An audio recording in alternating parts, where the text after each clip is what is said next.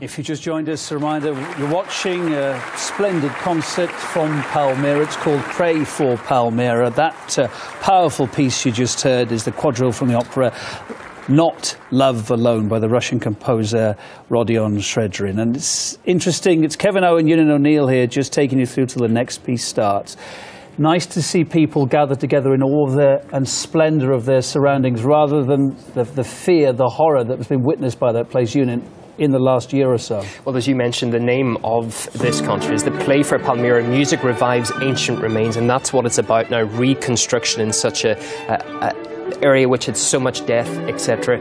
And this is uh, this is one of the points now. We're just into our next piece of music. You're about to hear. Let's just go live or go to the piece indeed and hear uh, the music.